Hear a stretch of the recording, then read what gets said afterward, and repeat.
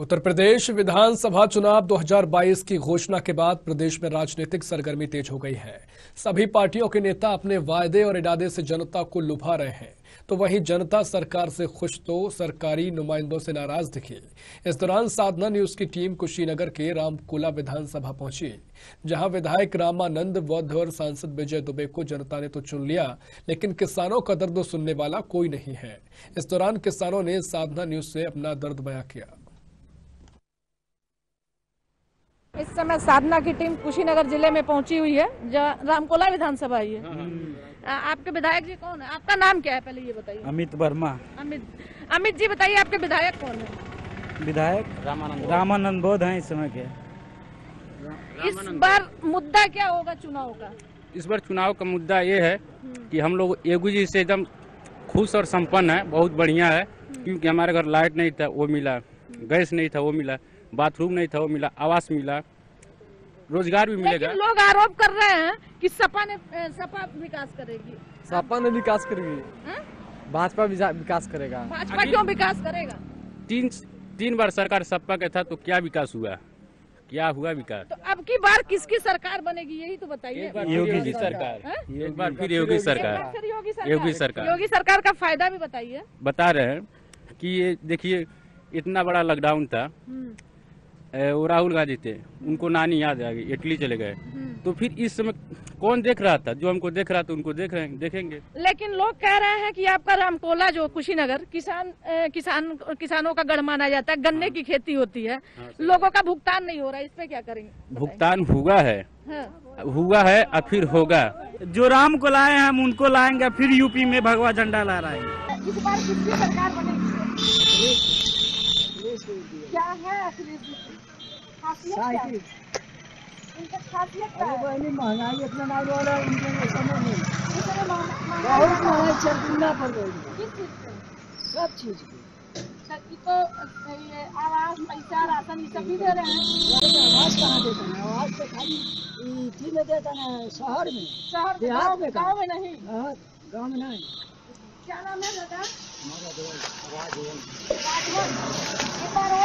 किसको पड़ेगा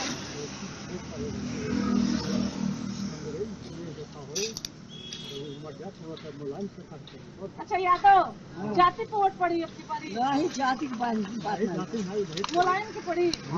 अच्छा। किसको वोट पड़ेगा? हैं? भाजपा को देंगे। भाजपा को कह रहे हैं मुलायम को देंगे। है क्या काम किया है? ये कह रहे हैं महँगाई हो गया है। परिवार बढ़ेगा तो महँगाई होगा। तो मतलब सरकार की तरफ़ से महँगाई नहीं है। मंदिर बन गया उस पर क्या कहेंगे?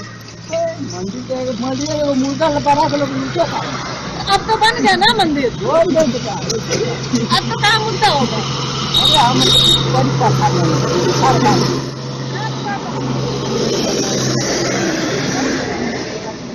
सरकार से परेशान नहीं है थोड़ा देर सरकार से परेशान नहीं है इस समय साधना न्यूज़ की टीम कुशीनगर ज़िले के रामकोला विधानसभा में है।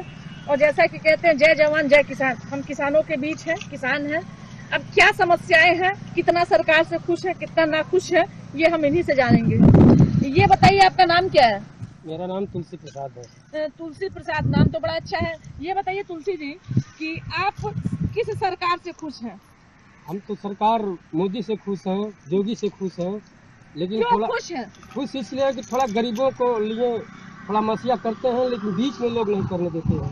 अच्छा बीच के लोग नहीं करते बीच के लोग नहीं करने देते समय से करने से कोई हल नहीं काम हो पाता है। कोई ऐसा चीज़ हम लोग को मिल नहीं पाता है। अब वो क्या क्या दिए हैं आपको कुछ पता है? ये राशन दे रहे हैं। राशन दे रहे हैं मिलता है राशन? हाँ राशन मिलता है। इसके पहले की सरकार थी उसमें नहीं मिलता था? मिलता था इसमें भी मिलता था।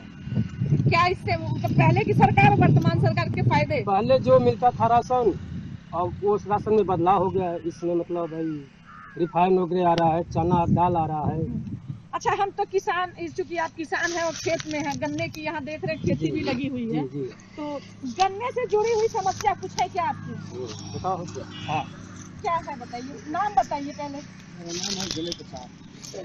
जनई प्रसाद। जनई प्रसाद बताइए। गन्ना से हम लोग का हर काम गन्ना ही से होने वाला है। हाँ मुख्य खेती तो यहाँ सारा बिज़नेस व्यवसाय गन्ना ही। गन्ना ही से होने वाला है। हाँ, मान लीजिए मिल का ये पोजीशन है जैसे मान लीजिए कि हम लोग गन्ना गिराते हैं। इन साल पेमेंट नहीं दे करके अगले साल देता है। अच्छा पेमेंट की समस्या होती है।